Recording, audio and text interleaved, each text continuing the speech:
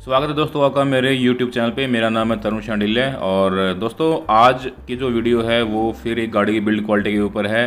दोस्तों, आप लोग मन बनाते हो एक गाड़ी खरीदने का। आप अपनी प्रायोरिटीज़ के हिसाब से एक लिस्ट बनाते हो। उस लिस्ट के अंदर आप जो चीज़ें हैं, उनको आप तरीके से रखते जाते हो कि सबसे पहले आपको गाड़ी के अंदर क्या चाहिए। तो सबसे पहले आपकी सबसे ऊपर माइलेज होती है, उसके बाद आपकी रीसेल वैल्यू होती है। और सबसे लास्ट में आपकी बिल्ड क्वालिटी आती है। तो आप ये चेकलिस्ट लेकर आप मार्केट में रिसर्च करने निकलते हो और आपको आपकी ड्रीम कार मिल जाती है और आप उसे घर ले आते हो। लेकिन इस प्रोसेस में आप एक अहम चीज़ छोड़ देते हो जो है बिल्ड क्वालिटी और आपके साथ एक दुर्घटना हो जाती है, जैसे कि इन भाई साहब के साथ हुई है। इस व्हाट्सएप पोस्ट के मुताबिक एक सलेरियो ऑटोमेटिक कार जो कि यूपी पुलिस के कर्मचारी की थी, वो अपनी ड्यूटी करके रात को वापस आ रहे थे और रास्ते में ये हादसा हो गया उनके साथ एक ट्रक की वजह से।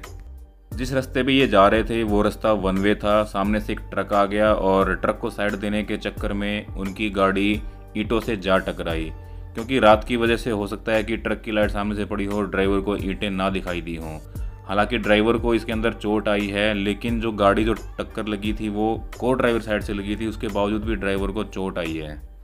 इन तस्वीरों में भी आपको साफ़ साफ़ दिखाई दे रहा है कि गाड़ी का जो को ड्राइवर साइड है उसका ए पिलर उसका बी पिलर और उसकी छत उस साइड से पूरी पूरी डैमेज हो गई है। लेकिन सिर्फ़ ईटों की वजह से ऐसा होना थोड़ा नामुमकिन लगता है।